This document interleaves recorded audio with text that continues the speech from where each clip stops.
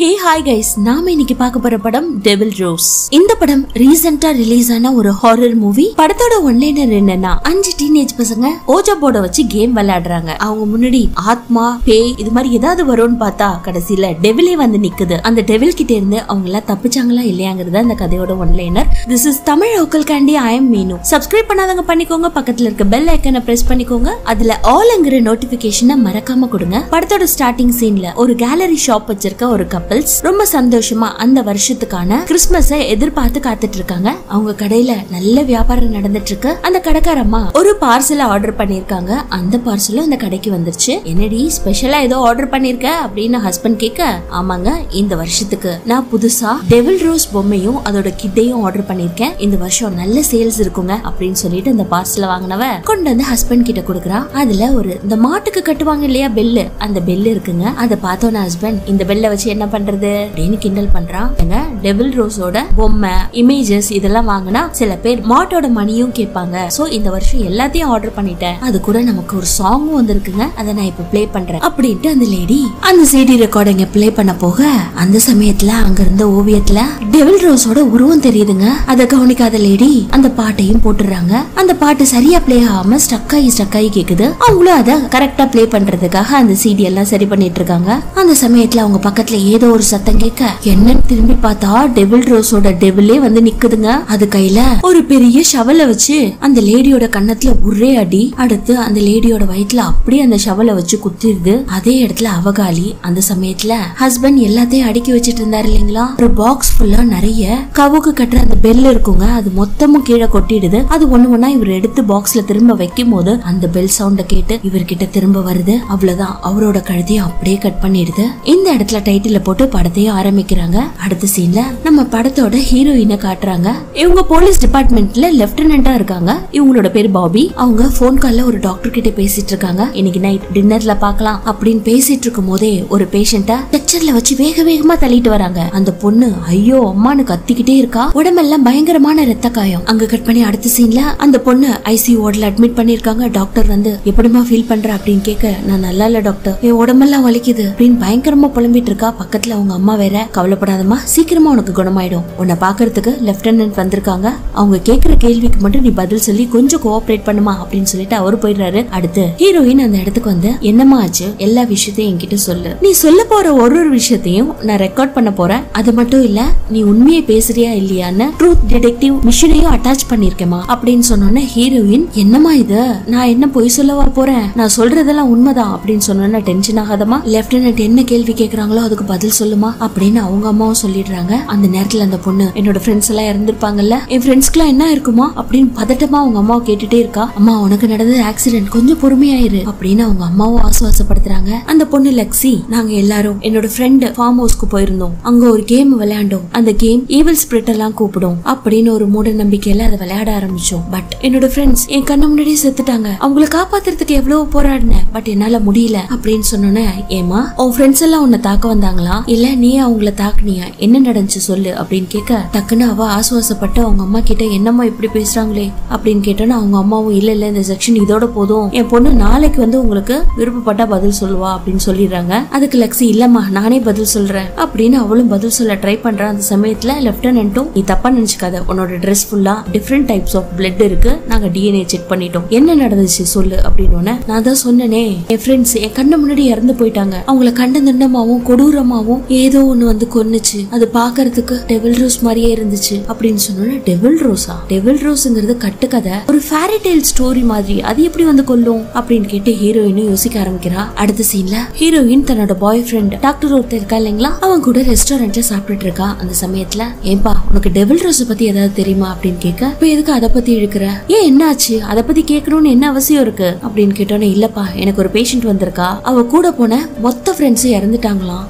என்னாச்சு அப்படின்னு கேட்டா டெவில் ரோஸ் தான் வந்து கொன்னுடுச்சு டெவில் ரோஸ் தான் என்ன ஹர்ட் பண்ணுச்சு அப்படிங்கிறா என்ன இப்படி கட்டுக்கதையா விடுறாளேன்னு எனக்கு ஒன்னும் புரியல அப்படின்னு சொன்னோன்னே இல்ல இல்ல டெவில் ரோஸ்ங்கிறது உண்மை. அது உண்மையா நடந்த ஒரு சம்பவம். அதை இந்த காலத்துல கதையை மாத்திட்டாங்க அப்படின்னு சொன்னோன்னே எல்லா கதையும் எல்லா ஃபேரி டெய்ல்ஸும் உண்மையாயிடாதுப்பா அப்படின்னு சொல்ல இல்லப்பா இந்த ஃபேரி டெய்ல் இந்த டெவில் ரோஸ் உண்மையான கதை. அது கண்டிப்பா முழிச்சு வந்து அது சாகிறதுக்கு காரணமா இருந்த எல்லா பிளட் லைனையும் கொல்லும். கொடூரமா கொல்லும். அது கையில வச்சிருக்க ஷவலை வச்சு கொல்லும் அது வந்து நம்மள கொல்ல போகுதுன்னா அதுக்கு முன்னாடி மாட்டோட பெல் சவுண்ட் கேட்கும். இதுதான் அதோட அறிகுறி அப்படின்னு சொல்றான். இது உண்மையானதுப்பா அப்படின்னு சொல்ல ஹீரோயின் அதை நம்பல. அடுத்த சீன்ல அந்த டாக்டர் வீட்டுல குழப்பத்தோட உட்கார்ந்துட்டு இருக்கார் அந்த சமயத்துல அவரோட வீட்டுக்கிட்ட ஏதோ ஒரு சத்தம் கேக்குது. என்ன சத்தம்ட்டு பொறுமையா கதவை திறந்து பாக்குறாரு ஒண்ணுமே இல்லைங்க. டக்குன்னு கதவை மூடிட்டு கதவோட வாசல் பக்கத்துல நின்னுட்டு இருக்கும்போது அதே பெல் சவுண்ட் கேக்குது. சந்தேகம் வந்தவர் அப்படியே பொறுமையா திரும்பி பாக்குறாரு இவருக்கு பின்னாடி டெவில் ரோஸ் அப்படியே நின்னுட்டு இருக்கு அடுத்த நொடியே அவரையும்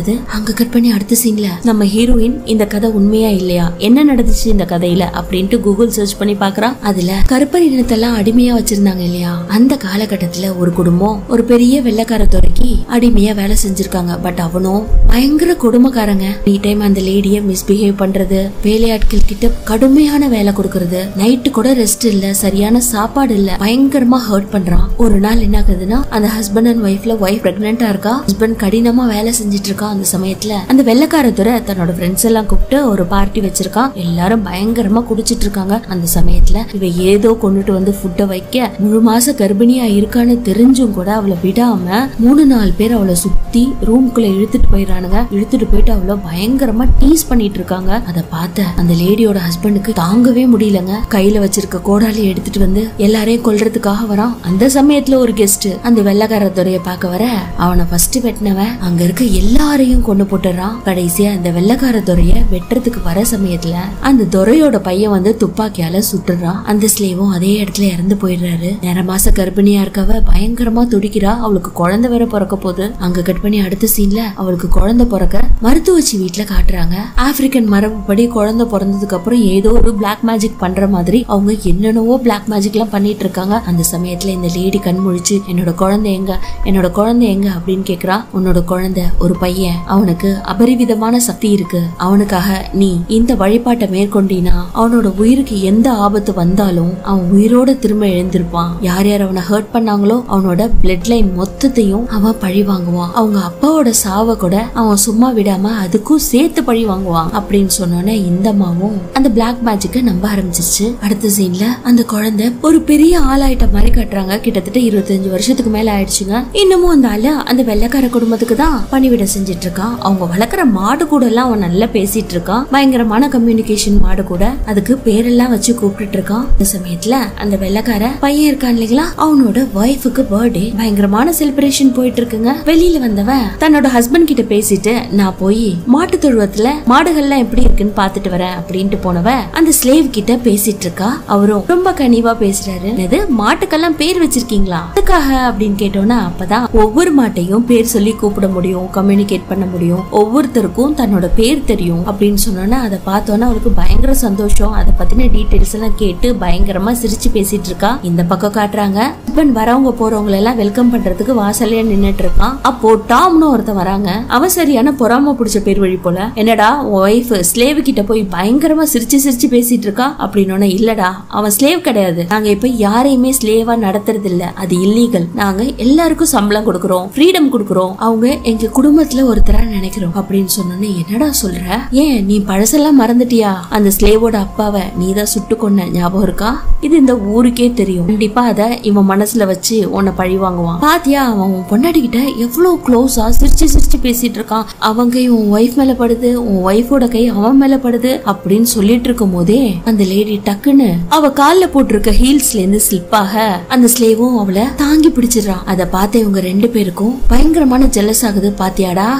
பொண்டாட்டியப்பா கட்டி புடிச்சிட்டு இருக்கான். இதுக்கு மேல உனக்கு என்ன வேணும்? போய் அவனை இப்பவே என்ன ஏதுன்னு கேளு அப்படின்னு சொல்ல கோவமான ஹஸ்பண்டுக்கு என்ன பண்றதுன்னே தெரியல. ஒரு ஷவலை எடுத்துக்கிட்டு போய் எப்படிடா என் ஒய்ஃப் மேல கைய வைப்ப? அடிமை நாயை அப்படி இப்படின்னு திட்டி அந்த ஷவலால அவனை போட்டு பலமா தாக்கி அந்த ஷவலாலே குத்தி கொன்னுடுறாங்க. அவனை சுத்தி இருந்த அத்தனை ஒயிட்டும் கொல்லு கொல்லுன்னு தான் சொல்றாங்க. அந்த லேடி மட்டும் தான் வேண்டாம் விட்டுடுங்க விட்டுடுங்கன்னு கதறுவா. இருந்தாலும் அவன் செத்துறான் அடுத்த சீன்ல அவனை மூட்டை மாதிரி கட்டி ஒரு குதிரை வண்டியில ஒரு கயிறை போட்டு கட்டி தர தரன்னு எடுத்துட்டு போய் அவங்க வீட்டு வாசல்ல போட்டு இந்த அவனுக்கு பிரசன்ட் அப்படின்னு இந்த டாம் அவங்க அம்மா கிட்ட சொல்ல என்னடா என் பையனை கொண்டுட்டீங்களா டாம் நீ தானே அது? அந்த வீட்டோட இளைய முதலாளி நீயும் வந்திருக்கியா? அப்படின்னு வந்திருக்க ஒவ்வொருத்தரையும் பார்த்து சொல்றாங்க. இந்த அம்மாவுக்கு கண்ணே தெரியாதுங்க கண்ணெல்லாம் ஒயிட்டா இருக்கு. அதை பார்த்து அவங்க ரெண்டு பேரும் எப்படி உனக்கு கண்ணு தெரியல? எங்களை எல்லாம் கரெக்டா சொல்ற? அப்படின்னு கேட்டோன்னே எல்லாமே ஒரு தீர்க்க தரிசனம்டா. அட முட்டாளுங்களா என் பிள்ளையவா கொன்னீங்க? என் புள்ள சாக மாட்டான். கண்டிப்பா உயிர் தெழுந்து உங்க மொத்த பேரையும் பழி வாங்குவான். இது நடக்கும் பாரு அப்படின்னு சொன்னோன்னே பைத்தியக்காரி மாதிரி உளராத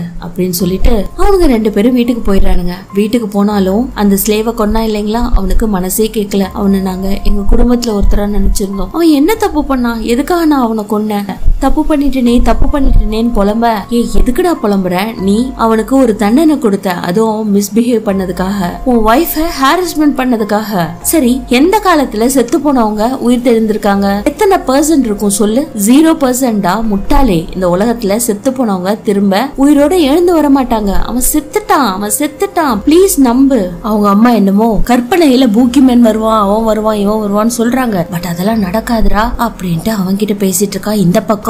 இறந்து போனவனோட அம்மா நம்பிக்கையை விடாம ஏதேதோ ஜபம் பண்ணிட்டு இருக்காங்க. பக்கத்துல இறந்து போனவனோட ஒய்ஃப் இருக்கா. கடகடன்னு அவனுக்கான கோட்டை ரெடி பண்ண. கண்டிப்பா என் மகன் என் வீட்டுக்கு வருவான் அப்படின்னு சொல்லிக்கிட்டே விடாம மந்திரத்தை சொல்லிட்டு இருக்கா. திரும்ப இனிமே இந்த அடிமைத்தனத்துல இருந்து இந்த அழுகையில இருந்து அவமானத்துல இருந்து நமக்கு விடுதலை கிடைக்கணும்னா டெவில் ரோஸ் திரும்ப வீட்டுக்கு வரணும். நீ டெவில் ரோஸா மாறணும். எழுந்திரி மகனே எழுந்திரி அப்படின்னு சொல்லி பயங்கரமான ஜபம் எல்லாம் பண்ணிட்டு இருக்காங்க. உளுந்து உளுந்து ஜபம் பண்றாங்க. அதே மாதிரி இந்த பக்கம் காட்டுறாங்க. இறந்து போனவனுக்கு உயிர் வந்து அப்படியே தவழ்ந்து வந்துட்டு இருக்கான் அந்த வழியில ஒரு பெல்லு கிடக்குங்க. மாட்டோட பெல்லு அதை எடுத்துக்கிட்டு உங்க வீட்டு வாசல்ல வந்து நிக்கிறான். இந்த பக்கம் இவங்க அம்மா பலத்த ஜபம் பண்ண ஒரு புகை மூட்டத்தோட அவங்க வீட்டுக்குள்ள நுழையிறான். அதை பார்த்த உடனே அவனோட அம்மா சொன்னேன்ல என்னோட பையன் வருவான்ட்டு. வந்துட்டான் பாரு. இந்த ட்ரெஸ் எடுத்து கொடு அப்படின்னு சொல்லிட்டு அவனுக்கு தயாரிச்சு வச்சிருந்த ட்ரெஸ் கோட்டு ஹேட்டு ஷவலு எல்லாத்தையும் கொடுத்து போட்டுக்க வைக்கிறாங்க. அவனோட முகமே அப்படியே டெவில் ரோஸ் மாதிரி மாறிடுச்சுங்க. கெட்டப்ப பார்த்தா ஜாம்பிக்கு ஜாக் ஸ்பேரோட ட்ரெஸ் போட்டு விட்டா எப்படி இருக்கும்? அதே மாதிரி மாதிரி இருக்கான். போ உன்னை அவமானப்படுத்தி அசிங்கப்படுத்தி கொன்னவங்கள பழி வாங்க போ அப்படின்னு சொல்றாங்க.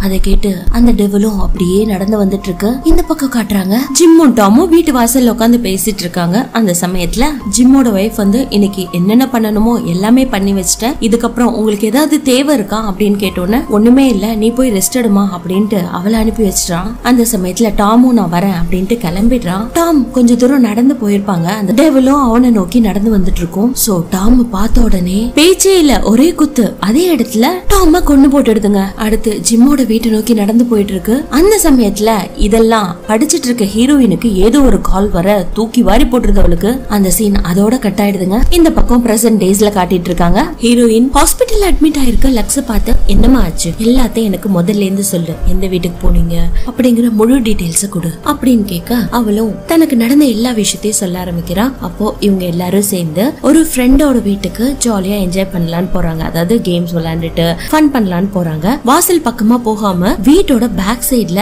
பேஸ்மெண்ட் வழியா உள்ள போறாங்கங்க. இப்ப உள்ள போயிட்டு இருக்கிறது நாலு பேரு. பட் இந்த வீட்டுக்கு சொந்தக்கார பையன் இன்னும் வரலங்கிறதுனால தான் இப்படி போயிருக்காங்க. உள்ள போய் அவங்க ஆஸ் யூஷுவல் எப்பயுமே கேம்ஸ் விளையாடுறது அவங்களோட வழக்கமாங்க. ஒரு டேபிள்ல உட்காந்து இன்னைக்கு என்ன கேம் விளையாட போறோம் அப்படின்ட்டு ஓஜா போர்டை எடுத்து வச்சு நம்ம இன்னைக்கு இதை ரியலா விளையாட போறோம். நார்மலா காயின்ஸ் வச்சு அப்படி இப்படி தானே விளையாடுவோம். இன்னைக்கு ஓஜா போர்டுக்கு பிளட்ட காணிக்கையா கூட கொடுக்க போறோம் அப்படின்னு லக்ஸி சொல்றா. அதை கேட்ட மத்த எல்லாரும் பிளட் எல்லாம் எங்களால கொடுக்க முடியாது. நீ வேணா கொடு அப்படின்னு சொல்லிடுறாங்க. எல்லாரும் மறுத்துடுறாங்க.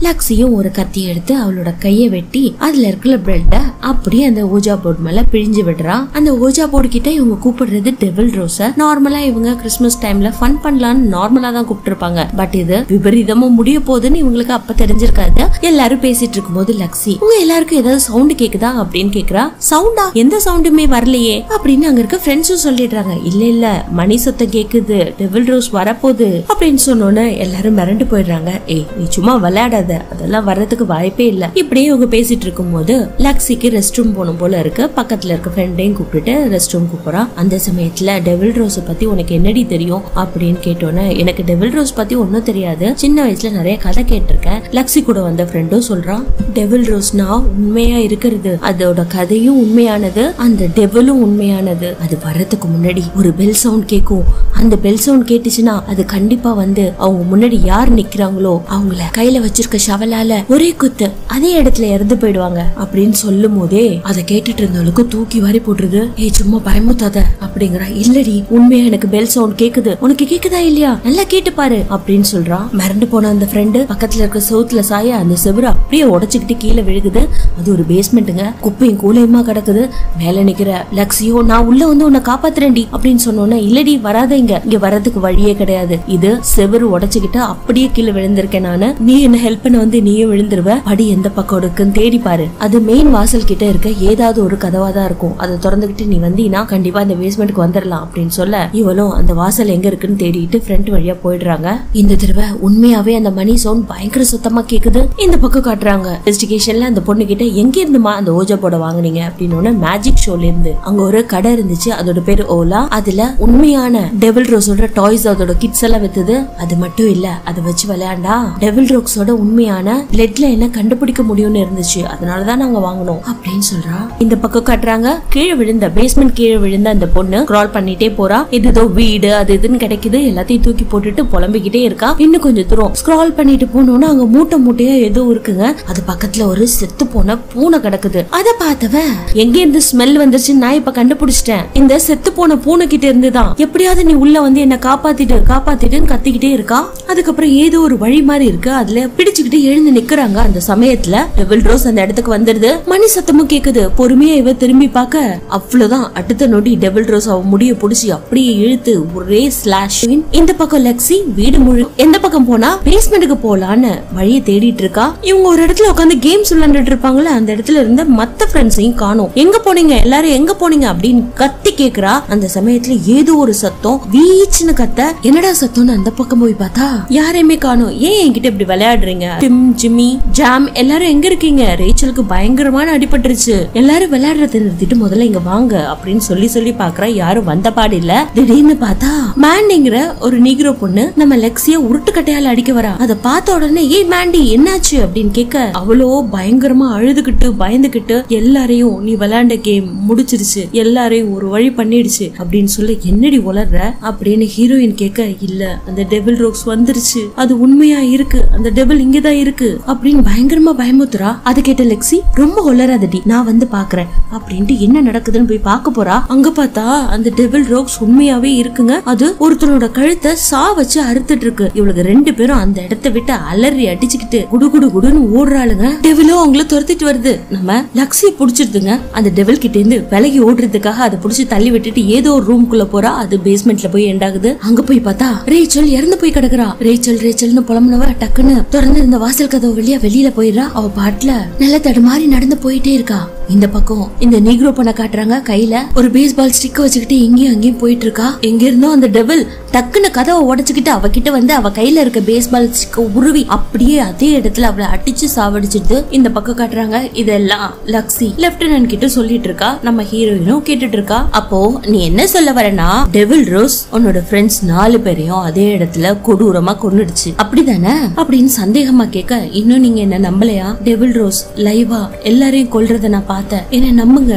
அப்படின்னு இவ்வளவு கதறி கதறி சொல்றா. அடுத்து பெரிய பிரஸ் மீட்டே அரேஞ்ச் பண்ணிருக்காங்க ஏன்னா இந்த ஊருக்குள்ள ஒரு அஞ்சு யங்ஸ்டர்ஸ் தாக்கப்பட்டிருக்காங்க. அதுல நாலு பேர் இறந்திருக்காங்க. அதுவும் கொடூரமான முறையில இல்லையா? சோ பிரஸ்ல இருக்கவங்க எல்லாம் நம்ம ஹீரோயினை பார்த்து பயங்கரமா கேள்வி கேக்குறாங்க. எல்லாரும் மாசா சூசைட் பண்ணிக்கிட்டாங்க. பண்ணிக்கிட்டாங்களா இல்ல வேற ஏதாவது நடந்துச்சா? என்ன விஷயம்? சொல்லுங்க சொல்லுங்க அப்படின்னு கேட்க இப்போதைக்கு என்னால எதையும் சொல்ல முடியாது. எந்த ஒரு சாட்சியும் எனக்கு கிடைக்கல. நாங்க அதுல வேலை செஞ்சுட்டு இருக்கோம் எனக்கு கொஞ்சம் வேலை செய்ய விடுங்க அப்படின்ட்டு ஹீரோயினும் போயிடுறா. அதுல ஒரு பிரஸ் ரிப்போர்ட்டர் மட்டும் துரத்துக்கிட்டே வரான் நீங்க ஏதோ ஒண்ணுத மறைக்க நினைக்கிறீங்க. எங்ககிட்ட சொன்னாதான் பொதுமக்களாகிய எங்களுக்கு உண்மை தெரிய வரும். அப்படின்னு அவ கேள்வி மேல கேள்வி கேட்டுக்கிட்டே அவளை துரத்துக்கிட்டு வரா. அந்த சமயத்துல இவளோட அசிஸ்டன்ட் அங்க ஒருத்தி இருக்கா. அவ அவனை தடுத்து நீங்க இங்க எல்லாம் வரக்கூடாது அப்படின்னு தடுத்து நிறுத்திடுறா. சரி இந்த மக்கள் புரிஞ்சுக்கவே மாட்டேங்கிறாங்க. எவ்வளவு சொன்னாலும் ஆபீஸ் ரூம் வரைக்கும் வந்துடுறாங்க அப்படின்னு புலம்பிக்கிட்டே ஹீரோயின் பக்கத்துல வந்து உட்கார என்ன ரிப்போர்ட்ல என்ன வந்துச்சு? அப்படின்னு ஹீரோயின் கேக்குறா. ஆமா உண்மையை கண்டறிகிற மிஷின் லக்ஸி சொல்றதெல்லாம் உண்மைன்னு தான் காட்டியிருக்கு. ஆனா அதை வச்சு இவ அவங்க மூணு பேரையும் கொல்லலன்றதுல என்ன ஒரு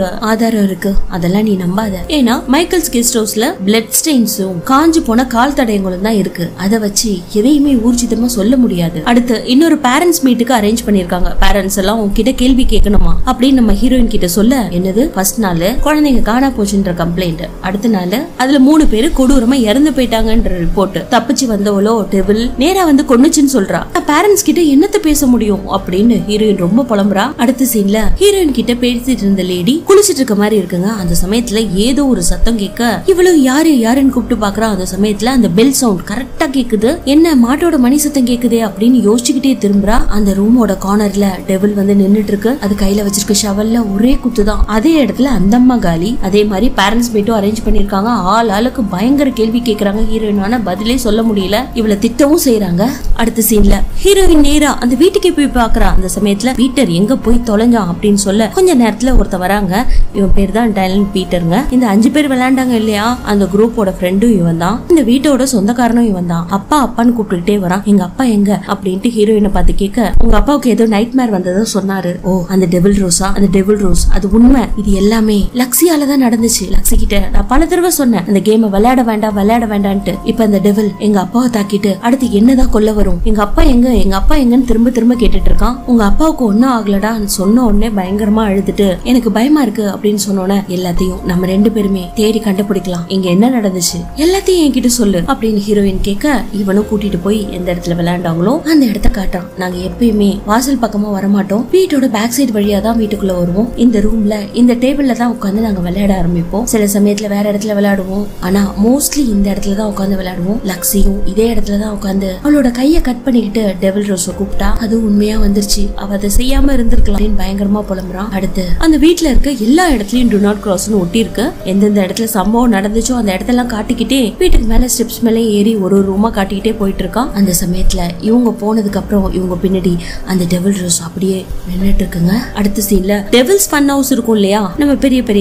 தீம் பார்க்குக்கெல்லாம் போகும்போது டெவில் ஹவுஸ்னு ஒன்று வச்சிருப்பாங்க இல்லையா? அது மாதிரி இடத்துக்கு இவங்க ரெண்டு பேரும் போறாங்க. அங்க ஸ்பெஷலா வர்றது. இந்த டெவில் ஹவுஸ்க்குள்ள தான் அப்படின்ட்டு டயால் பீட்டரும் இவள உள்ள கூட்டிட்டு போறான். உள்ள போய் பார்த்தா ஆஸ் விஷுவல் எல்லாரும் பேய் வேஷம் போட்டுட்டு தானே இருப்பாங்க. அந்த இடமே போக மூட்டமா இருட்டா கருப்பா இருக்கும். இன்னொரு எலும்பு கூட எந்திரிக்கும். அது மாதிரிலாம் இருக்கும் இல்லைங்களா? அதே மாதிரி அந்த இடத்துல எல்லாம் இருக்கு நிறைய. இந்த கொடூரமா செத்தவங்களோட போட்டோஸ் எல்லாம் இருக்கு. எல்லாத்தையும் ஹீரோயின் பாத்துக்கிட்டு இந்த டெவில் ஹவுஸ்க்குள்ளேயும் போறா. அந்த இடத்துல பார்த்தா அந்த டெவில் அப்படியே நின்னுட்டு இருக்குங்க. பீட்டரும் அந்த டெவில காமிச்சு இந்த டெவல் தான். எல்லாரையும் கொன்னது இந்த டெவல் தான் அப்படின்னு சொன்னோன்னு ஒருவேளை மனுஷன் தான் டெவல் வேஷம் போட்டுட்டு எல்லாரையும் கொள்றானா அப்படின்னு துப்பாக்கி எடுத்து அந்த டெவல் கிட்ட நீட்டா அந்த டெவல் அங்க நிக்குது. திடீர்னு ஒரு பொம்மை பின்னாடி மறையுது. திடீர்னு ஒரு இடத்துல இருந்து உட்கார்ந்த மாதிரி அப்படியே எந்திரிச்சு பீட்டரை மேஜிக் மாதிரி அப்படியே புடிச்சு இழுத்து பேஸ்மெண்ட் குள்ள போட்டு அமைக்கிறதுங்க. ஹீரோயின் டயான் டயான்னு கூப்பிட லெப்டினன்ட் பாபி லெப்டினன்ட் பாபின்னு அவனும் கூப்பிடுறான். பட் அவனோட குரல் மட்டும் தான் கேக்குது. அவனுக்கு என்னாச்சுன்னே தெரியல. அந்த சமயத்துல ஹீரோயின் துப்பாக்கியை புடிச்சிட்டு அப்படியே நின்னுட்டு இருக்கா. அவ பின்னாடி அந்த டெவல் கிட்டக்க நெருங்கிட்டு இருக்கு பொறுமையா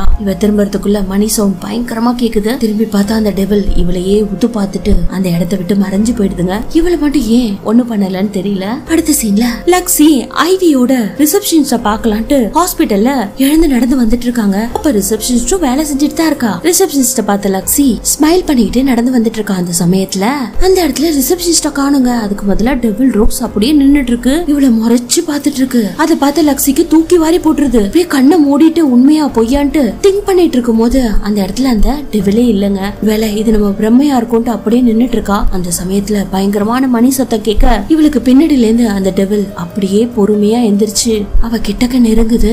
அவளும் திரும்பி பாக்குறா. அதோட அந்த சீன் கட் ஆகி டெவில் ரோக்ஸ்னு ஒன் செகண்ட் டைட்டில் போடுறாங்க. அதுக்கப்புறம் அந்த டெவில் ரோஸ் காட்டுக்குள்ள பொறுமையா நடந்து போயிட்டு இருக்கும்போது பயங்கர ஸ்மோக்கா இருக்கு. திடீர்னு நின்னது. அப்படியே திரும்பி ஃபார்வர்ட்ல நம்மள பார்த்து அப்படியே அந்த ஸ்மோக்குள்ள இருந்து நடந்து வரவும் பாருங்க. அதோட இந்த படமும் முடியுது. எப்படி இருந்துச்சு இந்த படம்? வித்தியாசமான இந்த படம் அப்படிங்கறத உங்களோட கமெண்ட்ல சொல்லுங்க. This is Tamil local candy I am Meenu thank you for your valuable time and support